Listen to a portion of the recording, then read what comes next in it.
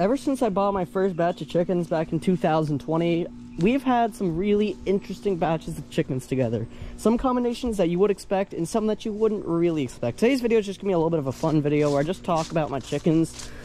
So sit back, relax, enjoy. And also, PSA, if we reach 4K before August, as I keep saying, we're gonna do a live every day that month, so we'll see what happens. First of all, it's quite odd to have chickens that like are like really crazy trying to go broody like my chicken loudmouth and I'm pretty sure my chicken cute is in the coop right now trying to go broody, like always. And then we just have normal chickens over here that just try to live their life. And then we have the biggest idiot right over here, Falcon, my rooster.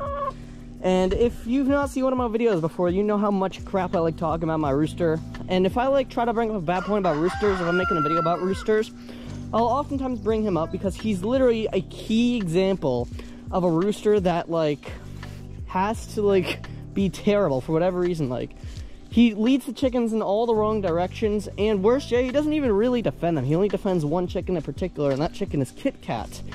Which, saying that he defends Kit Kat is a stretch, to say the very least.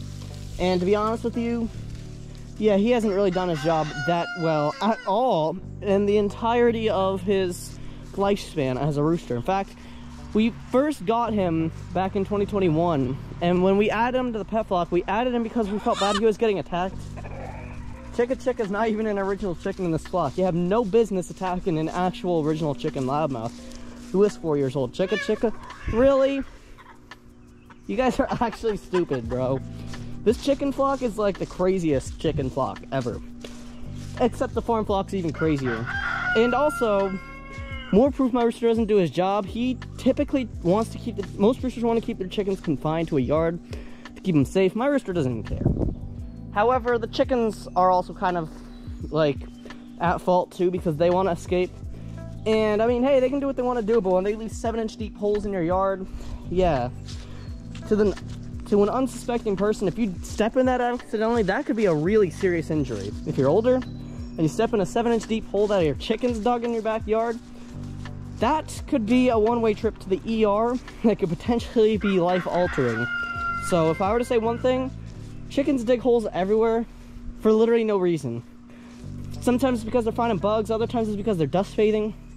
But finding, well, if you're in the chicken yard, you want to make sure that like you know where all the holes are in general because the chickens dig them a lot. So it's quite interesting. It's also really crazy to know all the different chicken breeds that reside under this one house right here.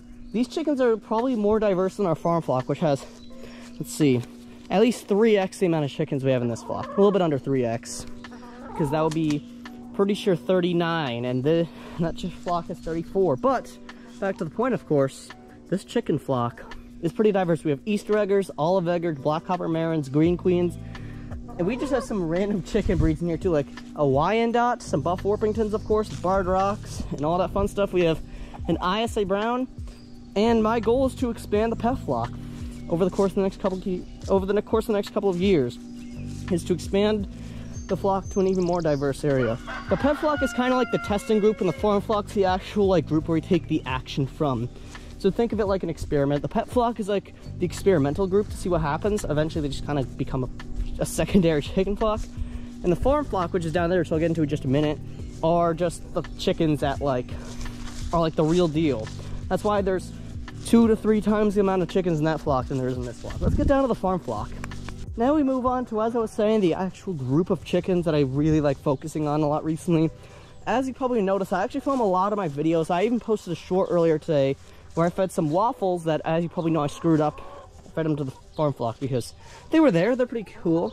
You see, we have tons of different chickens in here, except there's a few less chickens in here. Like, we have just a couple. Like, this is one of our black copper marans. She's cool. She says, what's up to the camera? She's telling you to subscribe or whatever a chicken wants you to do. I don't know.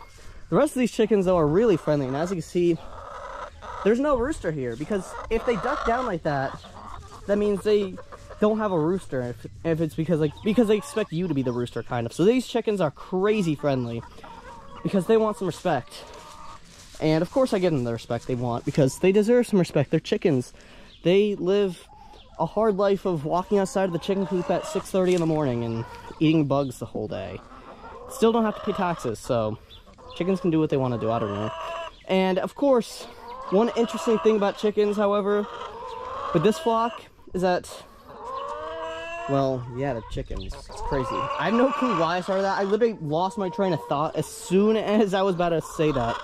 Well, yeah, so these chickens are far more friendly, but they're far less diverse than the pet flock. Like, the pet flock has all these different breeds of chickens, and I personally would give the edge to the pet flock being a little bit more stupid than the farm flock, but now I'd say the farm flock is kind of up there too. All down by the road. What are you guys thinking you're doing, bro? There's a car coming right now. Chickens are not of the smartest. And you want to know something? all these chickens I've ever owned, I've owned 11 different breeds of chickens, and I had to review them. So of course I had to give them the benefit of the doubt. So I, so I threw up a couple reviews, and I have a video just for you right there.